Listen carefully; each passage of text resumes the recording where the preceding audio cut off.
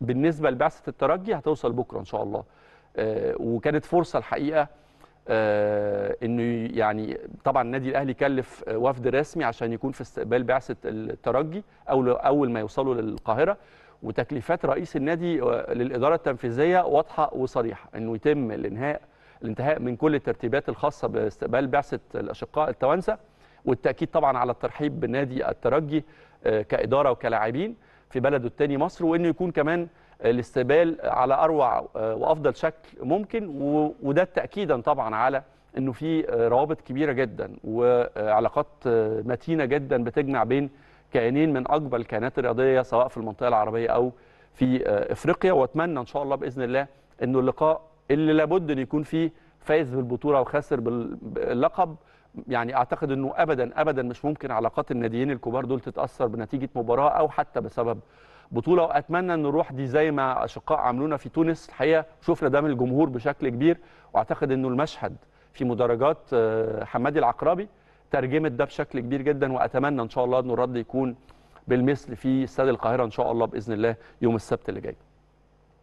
يمكن آه، الحقيقة آه، يعني برضو في إطار العلاقات الكبيرة دي كابتن محمود الخطيب رئيس النادي وكل أعضاء مجلس إدارة النادي والإدارة التنفيذية يتقدمون بخالص التعازي طبعا للسيد الأستاذ آه، حمدي المؤدب رئيس نادي الترجي التونسي في وفاة المغفور له بإذن الله شقيق رئيس نادي الترجي وداعين المولى عز وجل أن يتغمد الفقيد بواسع رحمته ويدخله فسيح جناته ويلهم الأسرة الكريمة طبعا الصبر والسلوان.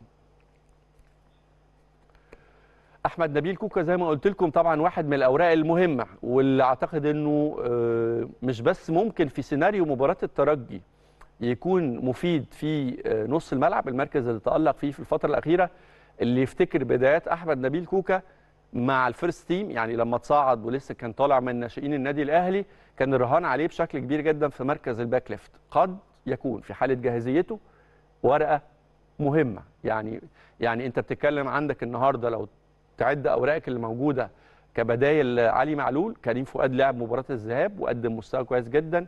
كريم الدبيس أعتقد إنه في قناعة كبيرة جدا من جمهور نادي الأهلي إنه قماشة وخامة كويسة ومحترمة جدا يحتاج فقط بس إنه ياخد الفرصة ياخد الاستمرارية يكتسب مزيد من الخبرات لكن مفيش شك في إنه الفرص اللي أتيحت لكريم تقول إنه لعيب كويس جدا وممكن الاعتماد عليه.